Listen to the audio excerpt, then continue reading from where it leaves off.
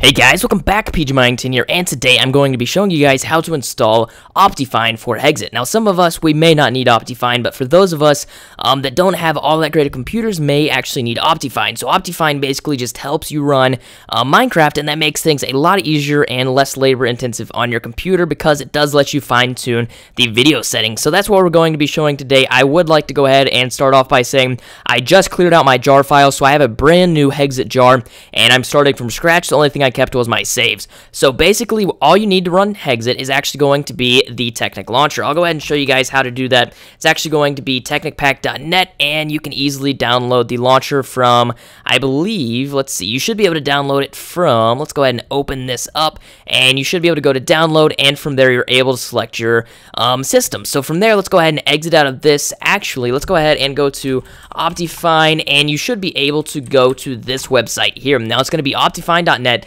slash download. So as you see, we've accomplished the fact that we're able to figure out where Hexxit is, or where Optifine for Hexxit is. So basically, I'm going to download the best version of Optifine possible for our computer. So I'm going to be downloading this version here, as you can see, is Optifine 1.5.2 HD UD5.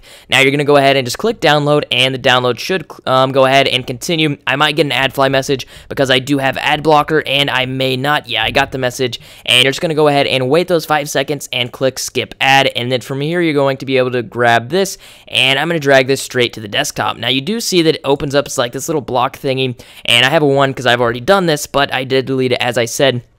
Now, if it doesn't show up as this, basically what you're going to want to do is go ahead and go download WinRAR, which is no big deal. Just type in WinRAR, and you can click right here and download WinRAR for your computer. As you see, you can download from here. So I've already done that, so it appears like this. Now, what you're going to want to do is uh, locate where you have your Technic folder. So we can go ahead and exit out of this. You no longer need this. So you're going to double-click on your Technic launcher, and it should open up as usual.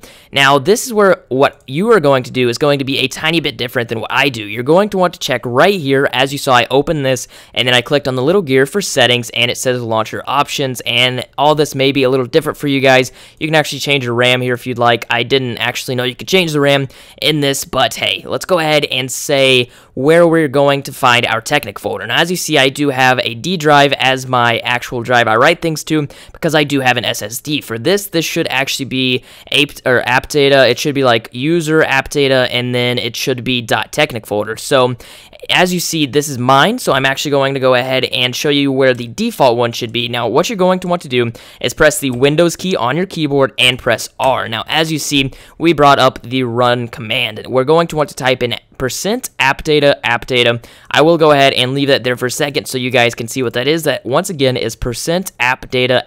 Percent so that's exactly what you type in and press OK. So from here, what you should actually be able to uh, um, go into is going to be the .technic folder.